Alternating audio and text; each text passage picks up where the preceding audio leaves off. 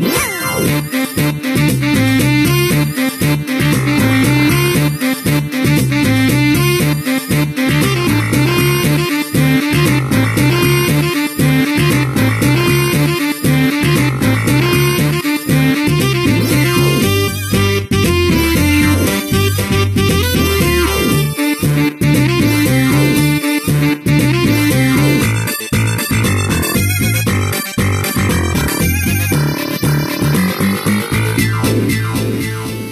so introducing Mike Clarke.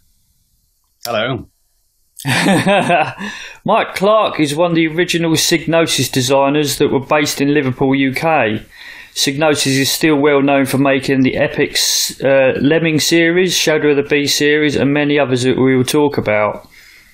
He composed the music. he he will. Uh, he composed the music and sound effects for the games at Psygnosis and many other companies. Psygnosis was bought out by Sony, and Mike continued composing game music and sound effects for them. He recently left the company called Atomicom to work for himself. Correct me if anything is wrong there. No, that's all fine, yeah. Brilliant. So, weirdly enough, um, I was on AmiBay and just by chance looking at a load of eBay links and spotted this Amiga 3000. And literally, I contacted Mike, not knowing that Mike was who he was, um, and was asking about the A3000, and there it is. it's doing really well on eBay at the moment, actually, isn't it? It's about nine kilograms. yeah, probably about eight, uh, 50 to 80 quid on postage, is it? like tanks, they are. Yeah. yeah. So, yeah, I didn't realise Mike was who he was. And uh, I said, oh, could you come on and do talk a bit about the A3000? I just thought by chance he'd got it. But no, yeah, he's uh, the legendary man himself. So, let's just go through it a little bit. Do you want to talk? I'll let you talk about the A3000 because I know I've done a bit of research, but I'll let you. I know uh, all the retro community been waiting for this. yeah, have they? yeah. Uh, well, I've had it for quite some time. Um, well, I'll explain how I got it. I Yep. got it because when before we got bought by Sony, we used to work down near the docks in Liverpool in a building called South Harrington Building, and we had another separate building there, which was uh, Century Buildings. And after we got bought by Sony, it was a bit, it was in the '93 we got bought by Sony, which is earlier than most people think. Um, and eventually we had money from them, and it meant that we could move out and go into a nice new building instead. Which, if you've seen any photos, there's one of me standing outside the building with the, the owl on top. Right. Okay. Yeah.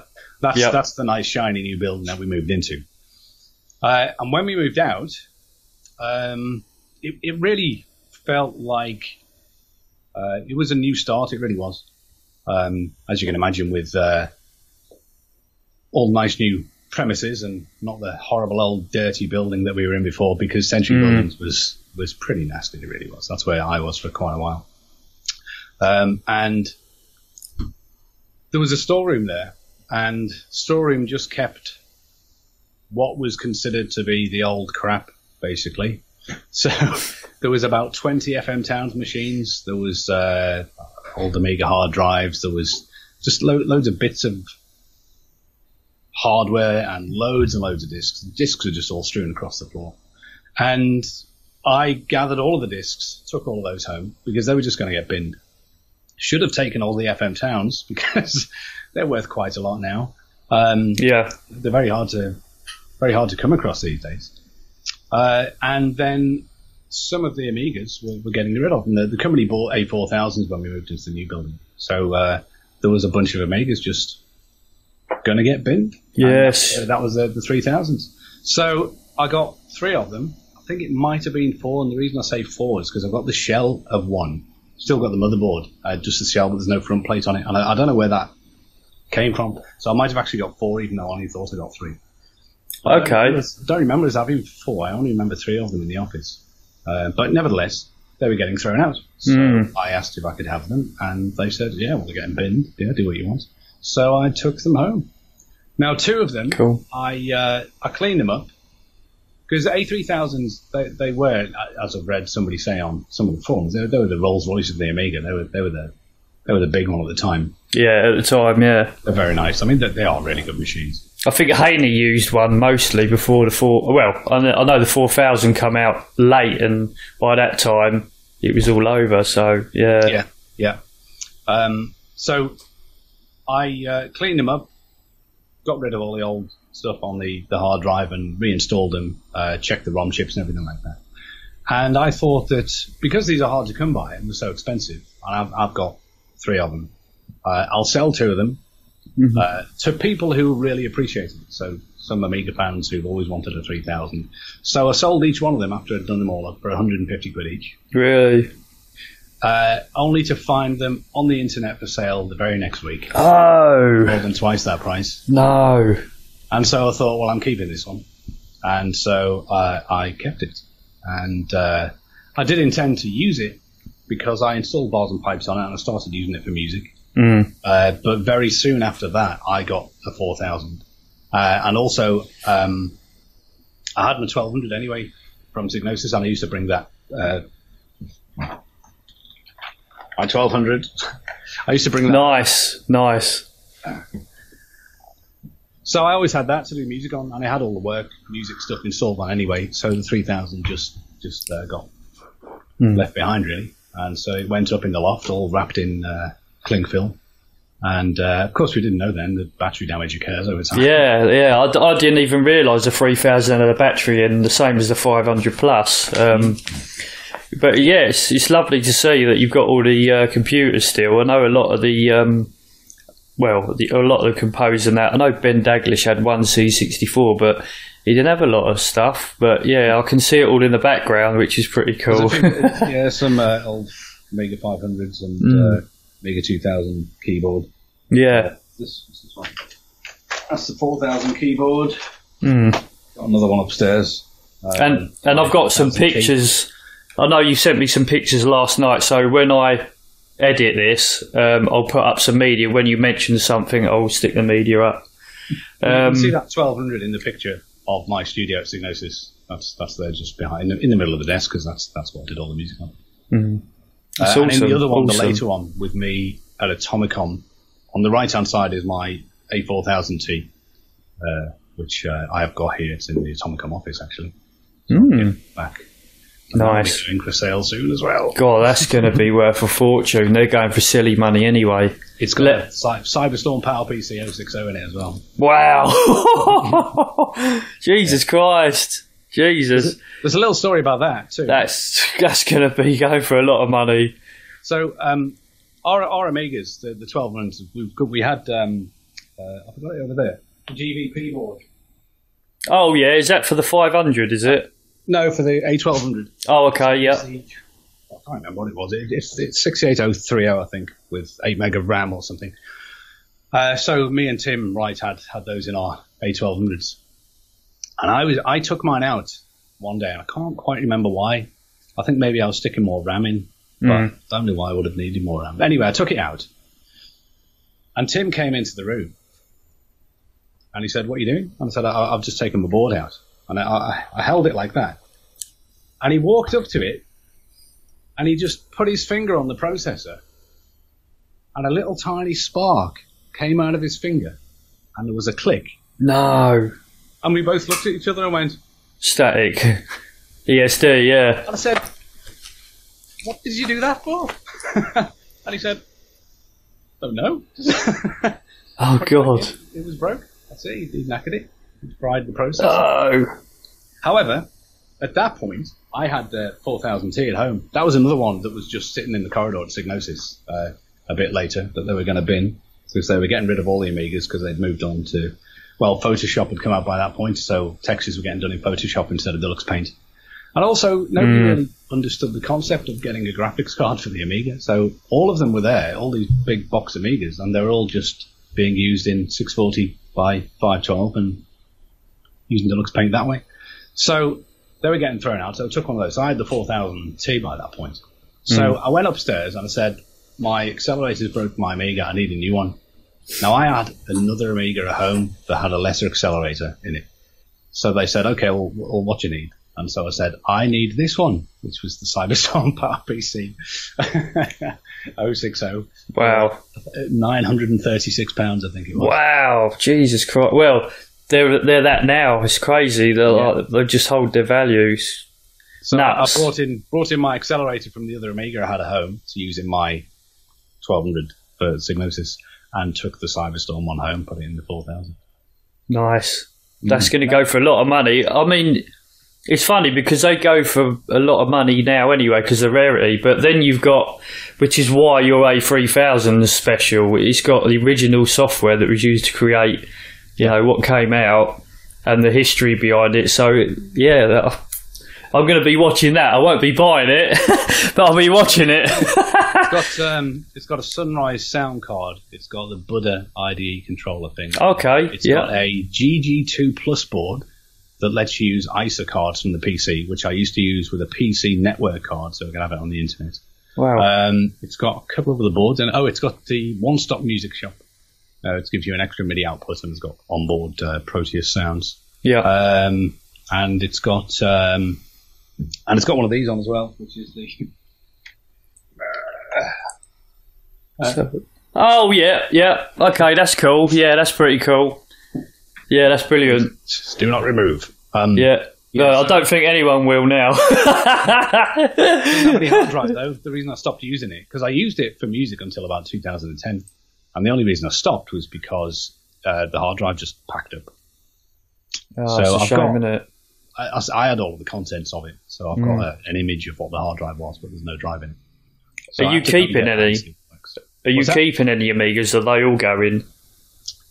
Uh, I, I, I'm probably not going to keep any, to be honest. Um, Mm. The reason is because uh, Yeah. So why why sell the? Uh, yeah. Why sell them anyway? Yeah. My, mine were all. I mean, I was a massive Amiga diehard, basically, Mm. and I've I've had that day, and I used them a lot more intensely than most people. And also, I've I've been through most of them. I've been surrounded by all of the Amigas for certainly all of my early career. So it's not like I- I'm I'm in this position like, oh my god, I've got a four thousand. I finally got one after all these years. Right. Okay. I, I, I've I've had them all. I've, I've, Yeah. I've used them to a very intense degree, doing everything with them. Mm. And I'm not going to use them again. I'm not going to use them productively because uh, I have. I've used WinUAE. I've used an emulator for bars and pipes just because I wanted to have a go at using bars and pipes again. And it works perfectly well. I don't Yeah. really need to go through the hassle of, of the hardware again. Because when people say there's nothing like having the, the real thing, well, for the purposes that I'd be using it, there's Yeah. literally no difference Yeah. as long as the timing is accurate when I'm doing music uh, sequencing on it, then it, it's perfectly fine to me. If I was going to get another Amiga, to be honest, it would be one of the Eon ones, the X1000 or X. Yeah. Yeah. True. True. Because Because, again. I can program, so I'd probably be programming little bits and pieces on it. There's a version of Bars and Pipes that works on it, and that's all I'd want it for. Mm. Uh, apart from doing stuff on it, writing little programs and stuff, but because it'd be fun to do. Mm. So yeah, I'd probably get one of those rather than go back to using uh, old games. Uh, Because, yeah, I mean, in a real world sense, you're a composer, and that's what the Amiga was for originally. It's a tool. Yeah. And technology moves forwards. You want the newest sounds. You want, I mean, yeah, we was talking about native instruments last night, and um, just the processing power you need to do a certain synth. Yeah. I mean, you, you just can't use the Amiga anymore. It's a shame, but Well, again, it would, only, it would only be for sequencing. I wouldn't do anything else with it. In Mhm. which case, I would then have to have an Amiga that's connected with MIDI, and I'd probably have the audio routed through my mixer as well. But then that would have to sync with a DAW on the PC anyway. So I'm not getting any advances. I might as well just emulate it if I want to do that. Yeah, true, true. Mm. Um, do you while we're talking about that? Do you? I know I've got a bunch of questions. I don't need to be in a certain order, but we was talking about your Insidious plugin last night. Yes. I know it's one of your newest projects, so if you want to plug away, I'm sure everyone will be interested. You say new, but I've been working on it for three years. oh, really? Okay, I've definitely heard of it. That might be what it is. Um, I know it's, it is fairly recent though. Someone's talked about it. Well, a I lot just more can't remember who it is. because it's it's been around, and every time I, I release a new version, uh, it it goes back up to the top of the list on the the, the download. Ah, It right. becomes more visible again. So anyway, it's a Commodore 64 sound chip emulation, specifically the 6581 version. Yeah. Uh, and yeah, it's taken me quite a long time. The reason that I made it was because I've got a HardSID Quattro in my PC, which has got four SID chips in it, and the driver for it only works on Windows XP. Oh, damn. Now I stuck with XP as long as I could, but one of my updates to uh, Reaktor, which is the software you need to use Insidious, funnily enough, um, Native Instruments didn't change the software. The software still runs fine on XP, but they changed the installer, so you couldn't install anything anymore because they'd come up Oh. and say, "Oh, you require Windows 7 to install." And at that point, I had no choice. I had to upgrade, so then I went moved on to Windows 8 and then onto Windows 10. And I've still got a partition Mm. with XP on it, so I can go back to the hard SID if I need to do testing and stuff with it, which is what Yeah. For Insidious. So I've done weeks and weeks of oscilloscope testing and checking waveform outputs for all different um, scenarios with each of the four SID chips I've got and comparing that with the emulation. And uh, spent, yeah, nearly three years. Obviously, there was a big dropout, probably a year and a half, when I, when I went to a major new upgrade version. And then recently I've rewritten all the os- oscillators to the new custom versions. So it's got more and more close to the real thing, and now it's really, really accurate. Uh, and the filter is the key thing. The filter has taken me months and months to, to get right because on the on the 6581, it's got a really specific sound. It's got some hardware bugs in it which make it distort, and it's uh, it's really not like anything else. But uh, yeah, that's, Oh, right. the thing, Insidious 6581. If you have Reaktor to do your music, then you can go and download it for free from the user library. Can you actually use it as a standalone mic? Well, it, not outside of Reaktor. Right, so you need Reaktor, okay. You do because any of the three ensembles require the um, the the full version of Reaktor.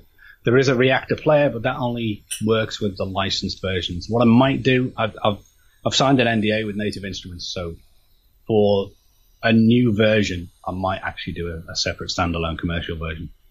So we'll see. Yeah. Okay, brilliant. Um, so, again, we'll just go back a bit. Yep. The reason why this 3000 is so special is because it's got a lot of the original Psygnosis stuff on it. Oh, it's- Um, it's got some. Um, Okay.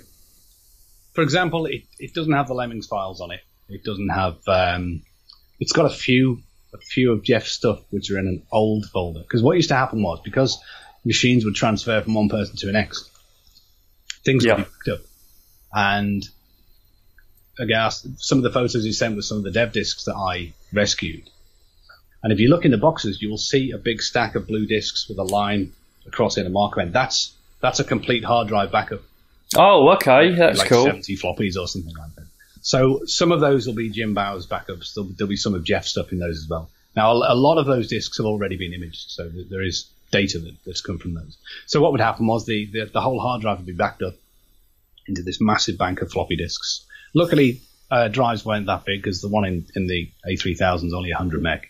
Nevertheless, that's still quite Mm. floppy disks. Uh, Yeah. Using Superback. And uh, then that would be wiped, given to the next artist. The next artist would, would go to town on it, basically. So the, the, the files which are on it are the stuff when it was taken away from Jeff, and then we had it over in Century Buildings, and it was used to do some of the Mega CD games. It's, well, Theatre of Death was done then. Oh, Uh, nice. Air Patrol. Um, there's a lot of uh, weird stuff on it because artists can be weird sometimes. There is uh, Yeah. animations from an, uh, a beat 'em up that never got released. I'm not sure what it was. We, we were doing a, a game called Phoenix Rising, which never got released. But I remember that that was robots. It was like a Double Dragon type thing. Um, and this isn't that, so I'm not actually sure what game it is. But there, there's loads of characters that, that Darren Douglas did with all, all the fighting animations and stuff. It's it's very it's very good. Yeah, Darren's Darren's work's amazing. And you, you sent a design last night. I'll put this up as I'm talking about it now. But um, there was a funny, like you say, because of their designers' creativity. Yeah. and I think you mentioned um, there's a picture. I'll show it now, but a picture of Richard O'Brien, right. and you said that he actually made it into a character. He did, yeah. That, that uh, I was talking to Darren about them when I uh, when I when I got the, the A3000 switched on and had a look through all the files. Then I took the photos of some of the stuff because I couldn't get the files off because of the issue with the floppy drive and the fact that it's SCSI. So I just took some photos and sent them over to Darren, which which he was quite shocked to see those. That's cool. That's cool. For 20 years. Um, Yeah. That Richard O'Brien, he said that was the very, very first thing he drew on a computer. Wow, really? Yep. That's awesome. It is. And so th- there was some other things he did. There's this ridiculous, it's funny Ace Ventura animation because he was quite the fan, and the, there's all sorts of other little test stuff. some impressive animation work that, that, that he's done on there. And so later he took that and he said he made that into one of the Wipeout characters. So that, that's, That's the- brilliant. the That's brilliant. Wipeout things. I might have to look for that and put that up now as we we speaking as well. So, just to run down a little bit, some of my favourites uh, Mike's done. So again, Mike done the music and sound effects. Bill's Tomato Game Amiga, Lemmings 2, but it was you said uh, corrected me last night. It was a SNES version. That's right. Still using for it though. It was all done in Pro Tracker. I, I, I had uh, David Whittaker's sound routine for the SNES, and so it's all, Okay, it's all just hex data. So it's just a okay, bunch of source code basically, and you, you stick in your numbers. It's it's hard going. yeah. So it's like programming programming again. Oh, absolutely, yeah, yeah. And it's just a big bunch of numbers at the end, and it's so easy to get it wrong and miss a rest character and stuff. It's awful. But nevertheless, because that was so difficult to do, I used to write it all in ProTracker first, because then I've got a, a nice uh, contiguous list of what the commands will be with, with the notes, and then I'd copy that into the hex data for, for the SNES. So that was four levels Wow. for the SNES. Uh, Wow. Mega Apocalypse 2 as well on the SNES. And uh, I was doing a SNES Bills Tomato game, but that got canned. Oh, really? Mhm. Wow. Yeah. Bloody, hell, I didn't know that. There was something else I was. making. I can't remember what it was now. Something else I was going to do on the SNES. No, I don't. Oh, I did uh, music for Super Drop Zone as well.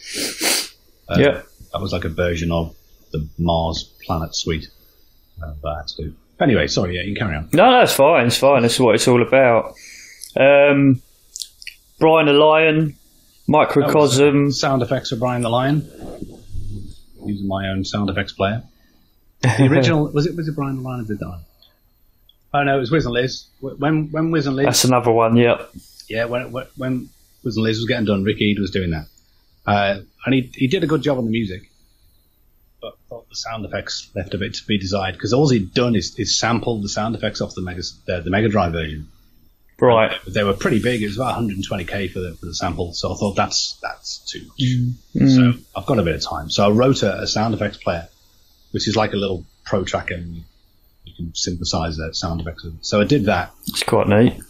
and I got it down to I think it was 960 bytes. I think for the, for the sound effects, including the player as well.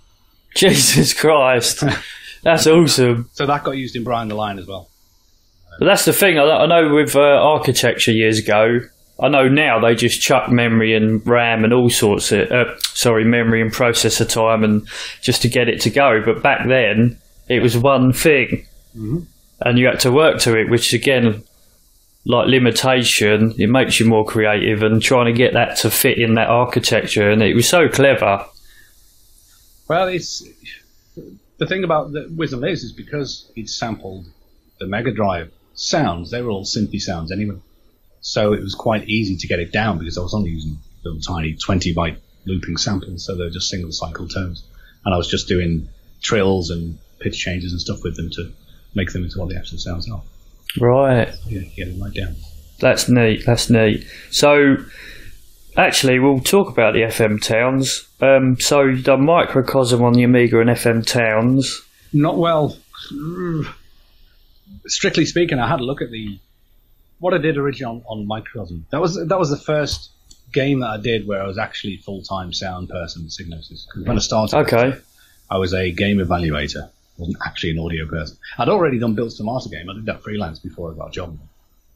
But when I joined, there wasn't any audio people. and there seemed to be no cause for it. But as Microcosm was getting done, it was clear that it needed to get done. So I got shoveled off to uh, the building down the road to work on that. So I worked on sound effects and FMV stuff and that. So that that was the Towns version. Oh right. So what is the Towns then? I've never heard of. What is it? Is it? Fujitsu FM Towns. It was, Oh okay. You could think of it as basically being a PC that had uh, accelerated hardware graphics. It had a uh, Right. an almost. It had a, a version of DOS, and it was very very PC like, and it would run various PC programs, but nevertheless it had this hardware graphics chip, so it did nice smooth scrolling, and it, it, it was it was good for the time. It really was. Yeah. Hmm, I'm gonna have to look that up. It, it was one of the first things that had a CD drive in it, so that's why we had micro, microcosm on it. So uh, somehow we got paid by Fujitsu to do some games for it. Wow. And the, the CD drive is only 150k a second, single speed. And microcosm was it was quite difficult to make. It was a long time to make it because there wasn't nothing that existed at the time. So everything had to be created from scratch. So the programmers had to not just write a video player, they had to invent the video compression routines. Jesus. And decoder as well. Now, because the, the data stream was so small, uh, only video could play, so there was no audio. And MP3 hadn't been invented then. And anyway, the processor probably couldn't have decompressed it in real time.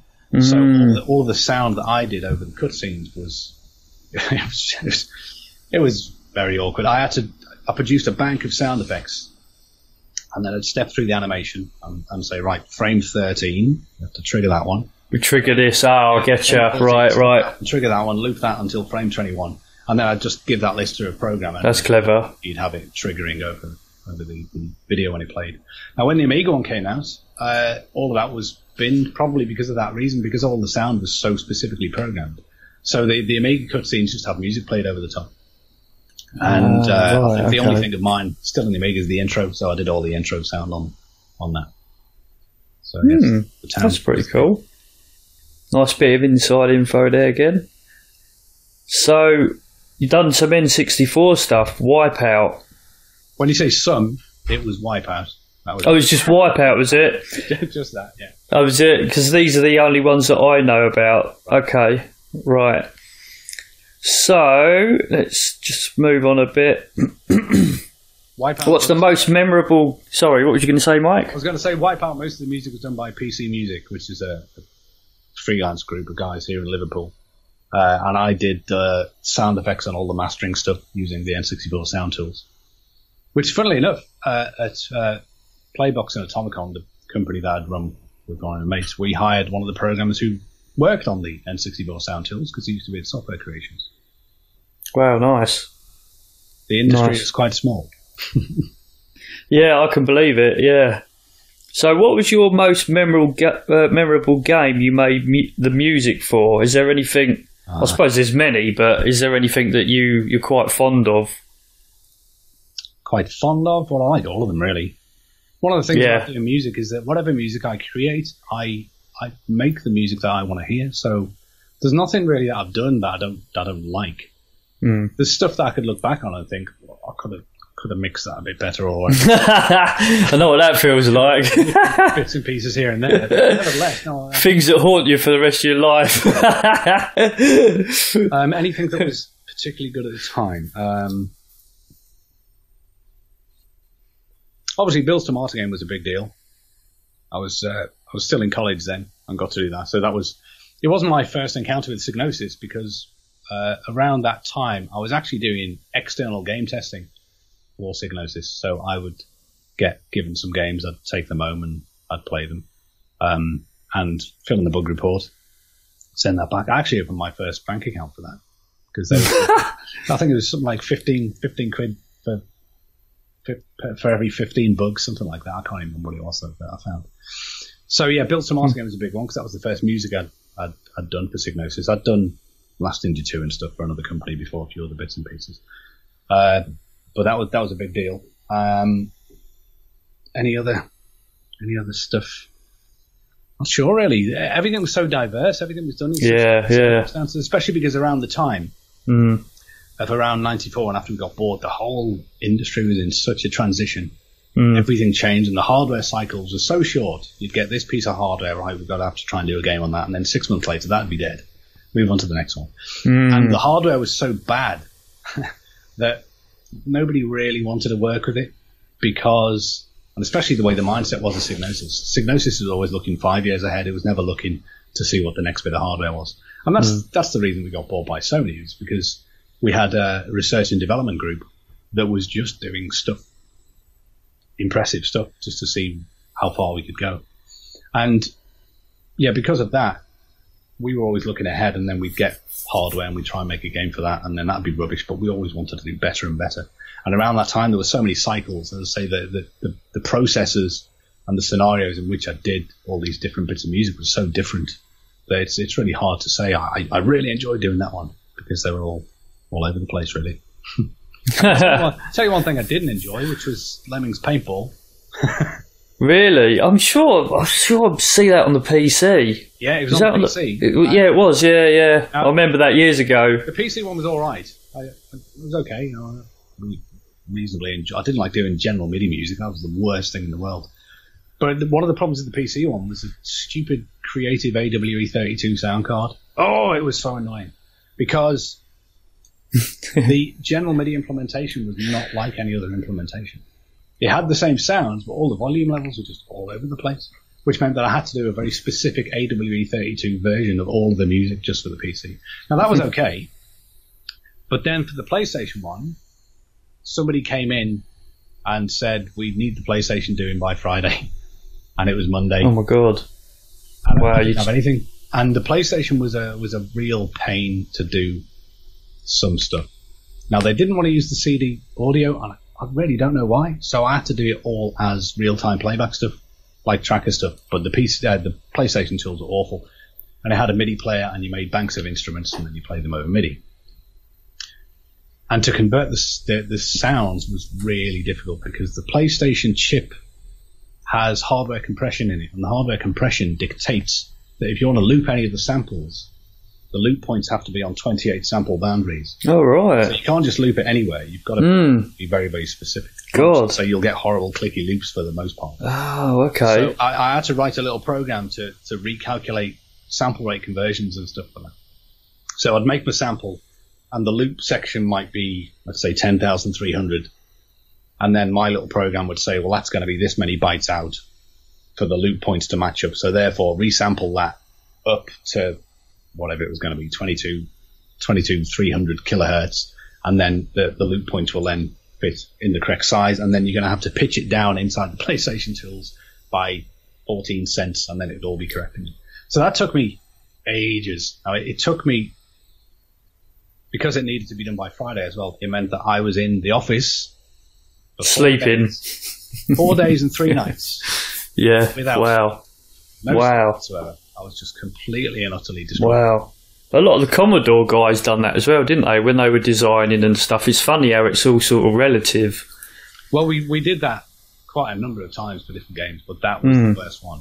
You know, three nights and four days without sleep. Just Mm. horrendous, horrendous. I mean, Tim, Wow. Tim Wright had a few sleepless nights doing Wipeout because they only had two weeks to do all the music. Most people don't. really- Wow, Jesus Christ. It's cool though. Well, it's it's not cool, but Yeah. that's it's cool thinking that you know that's all it took to. Well, it's it's it's easy for me to say, but you know, it's it's amazing. It's amazing. The, the the whole game was meant to have licensed music, and that didn't happen, and nobody realised, or nobody uh, finally admitted that that wasn't going to happen until far too late. And so, yeah, they came to us and says, "We need music now," and it was pot luck, really. It was either me or Tim that was going to do it. I, I was busy with something. I can't remember what it was. So, so and yeah, ten, two weeks and ten tracks. Brilliant. Nearly killed himself. So, who actually? Uh, one question I haven't got. I uh, was thinking about it last night. Who actually designed the um, Psygnosis owl Roger Dean. and the actual lettering? Oh, right. Okay. Yeah. Right. That's a really nice logo. That Yeah. Every time you see it, even now, it's so it's gorgeous, I've lovely. read that he came up with the name Psygnosis as well, but I'm I'm not sure if it was him or Ian Hetherington.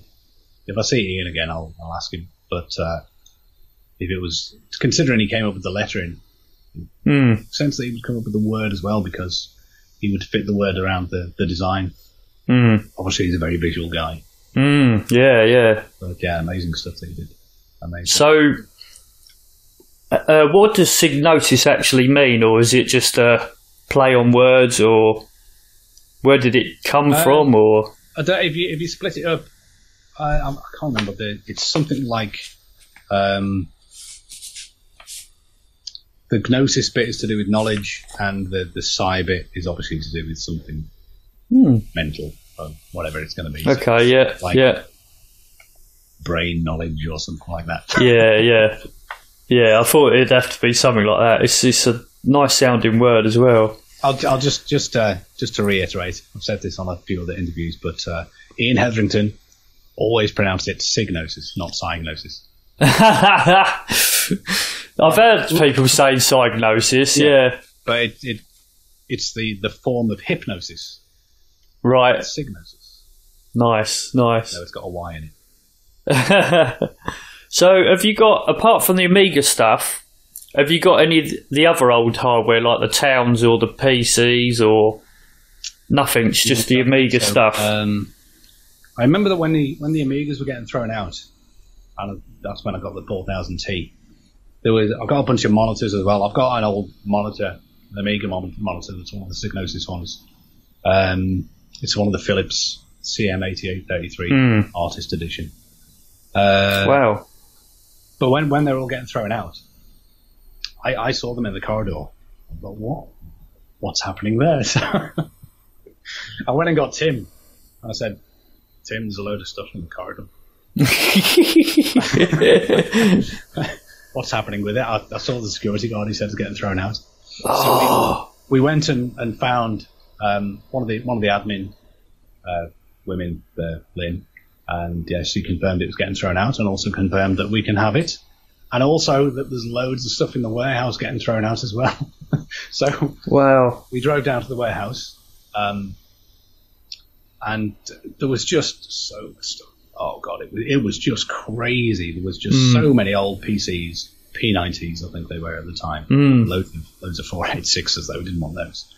There was a, a Sharp X68000. Tim took that. Uh, there was loads of Mega CDs and Mega Drives and stuff like that. It was it was basically all the old stuff that, that we just didn't want anymore. It was all going to get bin. Uh, Tim went a bit insane. Uh, I mean, literally insane. I've got this image of him because we hadn't got the screwdriver, and and al- although the PCs were a load of rubbish, some of the components were were potentially useful. And he went round all of them trying to get the hard drives out of them. we didn't have a screwdriver, and I just remember him, this image of him standing on top of this shell of it, just going, ah, ah, trying to wrench out this hard drive. So, we ended up coming back. I had a Ford Mondeo at the time. and we had- we put the back seats down, and the entire thing was just completely filled with just stuff. Wow. We were so embarrassed about it when when um, when we got back. I had to go and find a blanket to go and hide it in the car. it looked so dodgy. Yeah, We'd been given permission to take all this. that's So cool. that Tim got the X68000 and I didn't really take anything else. Because again, you have to understand this was 1994. It might have been into 95. Um, Mm. and the, they they were completely and utterly worthless. Nobody wanted anything. To Back then, yeah, You yeah. think about stuff like the Mega CDs. They they were awful. Mm. Everybody hated them. They were horrible to work with. They, they were rubbish. The cake It is funny. terrible. And so it's just thank God that they're getting put in the bin. they're worth a lot now. They're they're going for about four or five hundred quid on eBay. It's crazy. Yep. Yep, but there's no no value attached to it. And it's the same Mm. with the assets as well. This is why all the development discs were getting thrown out. It was just old stuff. Yeah, done that, hmm. move on. There's better stuff on the horizon. We've got hmm. new machines, we can do more impressive things, and that's what it was about. This hmm. stuff is not impressive anymore. We don't want it. Let's just Yeah. get rid of that and move on. And of course now it's uh, it's it's valued, it really is. And a lot, a lot Yeah. of game history has been lost that way. I know Mm. that we weren't the only company Yeah. to, to act that way. I know that we did have um, a lot of the stuff went up in the loft at Psygnosis when we went to the new building, and probably never ever got touched again. All old backup discs and drives and stuff like that. So So that that literally went in the yeah yeah. mm, by the next company or whoever. No, but yeah, again, It's I, the same building now. Stuff. Oh, really? Yeah. I mean, my my Amiga, I can't remember. I think I'm, my 500 plus must have uh, suffered battery leakage. That's the only one that I ever had, and I was a student at school when I got mine. And uh, I think I was in Gillingham at the time, and I literally just left that in the cellar because. You know, even later on, I, it was just not worth anything, and it was all PC, PC, PC. Yeah, exactly. And as you know, the tracker's on like a 48 channel by then, your 16 bit sound and Yep. 44 100 CD quality. And uh, yeah, again, but yeah, I felt guilty. And funnily enough, I've rebought everything now CD 32, 1200, and it's crazy, really. But yeah, yeah. it's too, it's too right, too right. I've got a CD32 there, which I'm selling. Nice. Nice. Voyage. Have you got any dev units or anything, any other special stuff, or Uh, not really. There's only really my Amiga 1200 and my Amiga 4000. Mm. Um, somewhere in, in my mum's loft, I think, is the PsyQ uh, SNES dev kit. But oh really? I've not sure heard of that. that uh, because I remember I kept it, and I, I was going through one time. It's got this weird yellow circuit board, and I've got this memory of, of this and of forgetting what it was. I'm like, what, what the hell is that? Because there's no markings on it or anything. It didn't say PsyQ on it. And I, I might have just binned it, but it might still be there. So the PsyQ dev kit might might be there somewhere. I'm not That's sure. got to be rare. I've not heard of one of them. Yeah, we, we had we had them for everything. We we partnered with SN Systems. SN Systems used to do a load of the dev stuff. Then they eventually got bought by by Sony, and Psygnosis started doing PsyQ development kits, and it ended up that our our PsyQ PlayStation dev kit was something like a tenth the price of the official Sony one, and Sony. I, I'm not sure how it worked, but we were we were pretty independent, even though we were bought by Sony, and in the end, they they just gave in, and the PsyQ became the official PlayStation dev kit then. And then Wow. SN Systems eventually got bought by Sony and Dual. I think they've become independent again now, but they did all the PlayStation 3 compilers and, and um, Vita and PSP and stuff like that. So they're very good. But we had those Nice. for pretty much every machine, the PsyQ version. Hmm. So, what do you use now then, Mike? I know, obviously, we've covered the retro stuff. So, you're still doing stuff for yourself, freelance now. Yeah. What do you actually use now? PC. And what's is it software or a bit of hardware or I have no hardware anymore.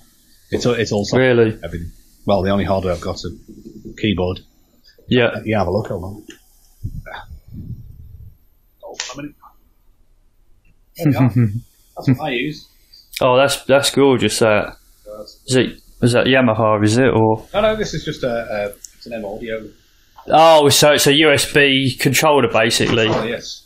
Right. Okay. Oh, nice. This is QX8. So it is actually Nice. exactly the same as one of the M audio ones. It's the same Mm. hardware with a different brand on it. So that that's my setup. It's all all software. Uh, Nice. I just can't deal with hardware anymore. Yeah. I mean, you just need a big box PC now and a couple of USB ports, didn't you? I've dealt with hardware for 20 years, and it's the same thing as with the games. What you want is Mm. more convenience, and you want a better way to do it. You don't want to have to mess around, and you're always looking for that. And now we've finally got it. I can have one computer that's got everything, and if I want to go back Yeah. to an old track, I don't have to plug everything back into the patch phase and try and remix all the levels and everything again. You just go load, and there it is. All yeah. Bang. Yeah. I've still got some hardware. It's in the Atomicom office. Um, But I haven't used it for years. I've got a Kurzweil K2000, uh, which is also in that photo of my studio at Psygnosis because I took that when I left. And uh, Yamaha FS1R, which is amazing. And I would like to use it again, but I'd like to have a software version if possible. But Yamaha's never going to do that. It does sound amazing though. Yeah, it's a marvelous cool thing. Uh, got Korg, Trinity down under the chair there, but that hasn't been used for years. Uh, all software. It's just so much more convenient. Mm, mm. It's much better. That's cool. And uh, well, I wasn't going to ask you this. Well, I don't think I should really, but a lot of people. I was supposed to be interviewing a team seventeen, but uh, Graham that sits here, he knows on the team seventeen crew, which is now Rockstar, but. Uh, there's a lot of things. He's not even in his contract. He's not even allowed to talk to Oh. anyone about anything. Otherwise, he's not even allowed social media, Facebook Oh. or anything. It's so quiet. Um, but is there anything you that you can talk about, or anything that you're working on that, or is it hush hush? no, nothing at the moment, to, to be perfectly honest. Um, the only thing I've been doing is doing a, a, a little game for the for the Nintendo Switch at the moment. So it, it- oh, really? yeah, there's no no big deal. It's just a conversion of uh, one of the games I did years ago to the Mm. Switch. Uh, um, that, that's been done in Unreal now, so it's much better Yep. graphically. And that's it. No, there's, there's nothing nothing really secretive or massive that I'm working on behind the scenes. Yeah. One of the reasons is because of because of the business stuff I want to do. So I'm, I'm doing a um, I'm going to be starting a startup to do some online software that I've, that's might be revolutionary. We shall see. Okay. So right. Okay. So you're you're changing sort of career path a little bit. Well, depends how you treat that. Because no matter what I do, I'll always be a musician who happens Right, to be able to do okay. other things rather than anything else. Fundamentally, I'm, I mean, even at Atomicom and Playbox, there, I, I was technical director for, for ten years, but I always did the music and sound effects because that that's that's who I am. I, I have Mm. to, have to. I'll, I'll die. Mm. Mm. that's the core. Yeah, that's the core of you. Yeah. Um, so, any other hobbies? I think you mentioned, ta- yeah, table tennis. Table tennis, yes, yeah. I've I've started. Uh, what happened was at Atomicom, we had a we moved into a new office, and the, the people who were there previously they had a table tennis table that they just left there. So we got in touch with them and said, "Can we buy it off you?" So we bought their table tennis table. So we had it for, for uh, two, two, three years, something like that. It's still there in the offices that they're in now. So we, we played most lunchtimes. So got into table tennis, and then last year I started going to um, one of the local places. So just joined the league recently. So quite into that at the moment. It's very good. Highly Awesome. recommended. It's very very strenuous. yeah, uh, yeah. God, it makes you sweat. I used to play badminton, so yeah, it's yeah, it's go go go. It's crazy. Yeah, good good fun though. Good fun. very much so. Yes. So the only the only the other thing that I want to say before I let you go is um, when this sells because it's over a thousand at the moment on eBay. Was it a thousand thirty or something? Let's say three thousand. I think it was. Yeah, last time I looked. 2000. Um, we're, we're all eagerly waiting to see what it goes for. So I, I, I, didn't, I didn't expect that to be honest. No, I mean, No, well, yeah. I, I wondered, I wondered when it hit 700. I thought, is it just going to stay there now until the last couple of minutes? But, but yeah, I was just wondering if when it does go, what I'll do is I'll probably put the buyer on this. If if the buyer wants to speak and add get added to this, then brilliant. But um, if not, then that's fine. But I wondered if you could actually contact them to say, oh yeah, we've done this, so see what he wants to do with it. And I know a lot of the guys in the scene are actually. Um, I posted last night saying what we're doing today, um, and someone said, "Oh, I think it's was it Juan or someone." Uh, said, "Oh, what he should do is dump all the stuff if he gets it running and preserve it." I said, "But that's, I suppose Mike would like it, but that's down to the guy who buys it." Yeah. Uh, because again, like you said, it's a catch twenty two. It's a little bit faulty, so Well, that's Yeah. that's one of the reasons why I haven't pursued any further. Because if it's, Mm. if, if it's the drive that's on its way out, I don't want to keep going through Mm. power cycles when I know. yeah, yeah. I remember you That- saying, I, I tried to get the files off. I I've got a, an old Catweasel board, so I tried Mm. plugging that in and sticking a new floppy drive in, but that didn't work. I don't know if the Catweasel or the floppy drive really. because they haven't been used for uh, 15 years or something. So Mm. who knows what, what's happened with that? It might even be the battery on them tracks causing the issue. Yeah, that that would be the Mm. controller having having a problem and getting Mm. it in there. So yeah, Mm. I, I, I didn't want to mess with it anymore. Uh, I just wanted uh, the buyer because I mean the buyer doesn't have to do anything with it. If they wanted to just stick it in a cupboard and in a glass case, then well, that's fair enough. Uh, and they don't have to do anything with it. Then it's if that's the way they want to preserve it, then, then Exactly, fine. exactly. However, I know that I'm not in a good position to be able to, to resolve those problems. so hopefully, whoever gets hold of it can can sort that out. Yeah, yeah, yeah. Fair play. But yeah, thanks, Mike. It's been brilliant, and um, Oh. I might bump into you in uh, at any retro events if you go. I mean, I think I've seen a few interviews on YouTube. Uh, was it a Manchester Play Expo at one That's point? right. Yeah, yeah. I did sit So- talk there. Yeah. we was in um, London at Play Expo this year, um, filming. We saw Jason Bradbury down there, but I gather you'll be there on a panel or something, and uh, might bump into you there. Yeah. If anybody offers, then I'm generally up for those sorts of things. yeah. Well, after this, I know um, I've seen the three thousand been on various sites now. Um, it's probably going to expose you a little bit more as well. Yeah, You're probably going to be asked all over the place. Oh, we'll see. We'll see how It's- how how famous the machine is. Yeah. Brilliant. That's brilliant. Thanks a lot, matey. I appreciate that. Yeah, my pleasure. But yeah, it's uh, not just for me, it's for the community as well. Okay. Well, It's been great. anybody has any other questions? I'm sure, Yeah. sure I can be found around the internet. Yeah. yeah, if there's. um Mike used to work at Atomicom, but yeah, he works for himself at the moment. But yeah, if anyone wants to ask him any questions, sp- are you on the any Amiga groups or anything? Uh, I'm on EAB from time to time. EAB. Uh, I'm on the Amiga groups on uh, on Facebook. Uh, Yeah. that's about it, really. Yeah, I'm not going to say direct thing because it's it's not right. So, yeah. Right. Thanks a lot, Mike. It's been brilliant. My pleasure. All right. Been awesome. Thanks a lot. Have a good day. Thank you. I'll speak to you again. Merry Christmas. Yeah, and you. Yeah. God, yeah. I was I was in a mind meld then. Thanks a lot. Okay. See you later. See you later, matey.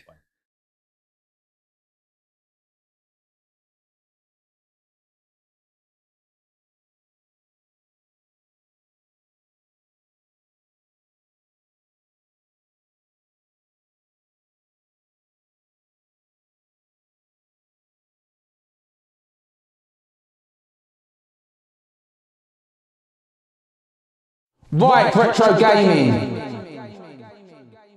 Wednesdays, 9 GMT.